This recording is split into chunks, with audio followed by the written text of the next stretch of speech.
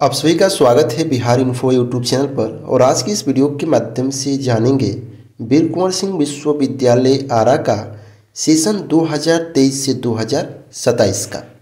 First semester का examination जो programme है विश्वविद्यालय जारी कर दिया है।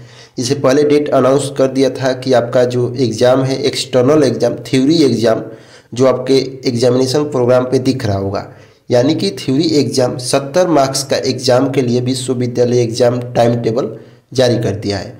उस टाइम टेबल को समझेंगे कि आपका एग्ज़ाम कब पड़ रहा है, क्योंकि इस बार का नया पैटर्न है एग्ज़ाम रूटीन समझना ज़रूरी है। तो आप लोग वीडियो को लाइक कीजिएगा, तमाम दोस्तों के पास शेयर कीजिएगा। सबसे पहले एग्जामिनेशन प्रोग्राम डाउनलोड कैसे करना है, आपको हम बता देते हैं।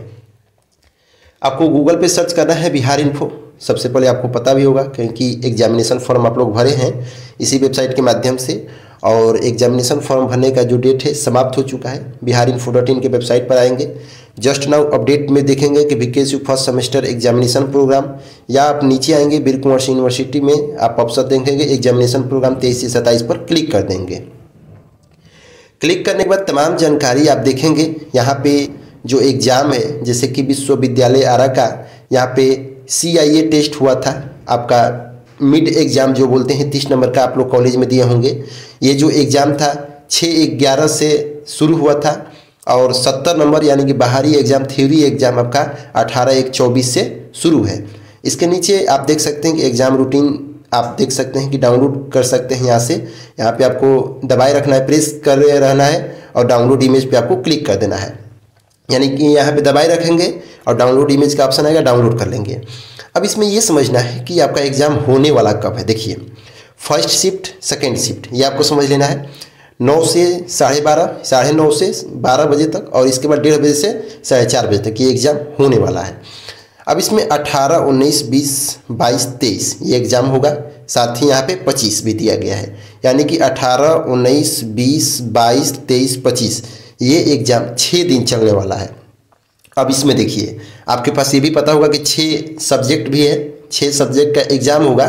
जैसे कि आप देख सकते हैं कि मेजर कोर्स यानी कि फ़र्स्ट शिफ्ट में आर्ट वाले छात्र जितने भी हैं आर्ट में कौन कौन से सब्जेक्ट आएँगे, बता देते हैं आपको। जो 20 से 22 सब जो सब्जेक्ट हैं, जैसे कि इतिहास, भूगोल, नागरिक जोग्राफी आपके पास फिजिक्स मैथ बोटनी जूलॉजी ये सब छोड़कर यदि आर्ट सब्जेक्ट है तो आपको प्रतिदिन एग्ज़ाम साढ़े नौ बजे से साढ़े बारह बजे तक देने जाना है और सेकेंड शिफ्ट में साइंस के छात्र और कॉमर्स के छात्र देने जाएँगे।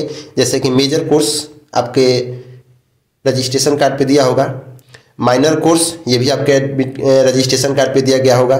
और इसके बाद M D C A C S C और वी ए सी तमाम ये जो कोर्स का कोड दिया गया, ये आपके रजिस्ट्रेशन कार्ड पे दिया होगा। और आपको क्या करना है कि रोज, यानी कि प्रतिदिन एग्ज़ाम देने छः दिन, यानी कि अठारह, उन्नीस, बीस, बाईस, तेईस, पच्चीस, प्रतिदिन आपको एग्ज़ाम देने जाना है। साइंस के छात्र सेकेंड शिफ्ट में जाएँगे कॉमर्स के छात्र सेकेंड शिफ्ट में जाएँगे, और आर्ट्स के जो छात्र हैं वो फ़र्स्ट शिफ्ट में जाएँगे। इसके बाद यहाँ पे देख सकते हैं कि तमाम जानकारी लिखा गया है। छः सब्जेक्ट का एग्ज़ाम होगा इंटरनल एग्ज़ाम के रिगार्डिंग और इसके बाद फुल मार्क्स यहाँ पे समझ सकते हैं कि सत्तर नंबर का जो एग्ज़ाम होगा, कितने मार्क्स के पूछा जाएगा। तो ये भी आपको बताया गया है। तो यहाँ पे मल्टीपल च्वाइस का क्वेश्चन आएगा शॉर्ट क्वेश्चन आएगा लॉन्ग क्वेश्चन आएगा। तो आप लोग वीडियो को शेयर कीजिए और चैनल से जुड़िए। आप लोग चैनल से जुड़े नहीं हैं, वीडियो देखते हैं, चैनल से जुड़ जाइए सब्सक्राइब करके। सब्सक्राइब करके जुड़ जाएँगे तो जो भी अपडेट होगा आपको बिहार इन्फो यूट्यूब चैनल के माध्यम से हमेशा आपको मिलते रहेगा। इसके बाद जो भी जानकारी होगा व्हाट्सअप ग्रुप टेलीग्राम ग्रुप से आप लोग जुड़े रहिए। जो जानकारी होगा आपको हम वीडियो के माध्यम से देते रहेंगे। फिर मिलते हैं अगले वीडियो में। तब तक के लिए बाय एंड टेक केयर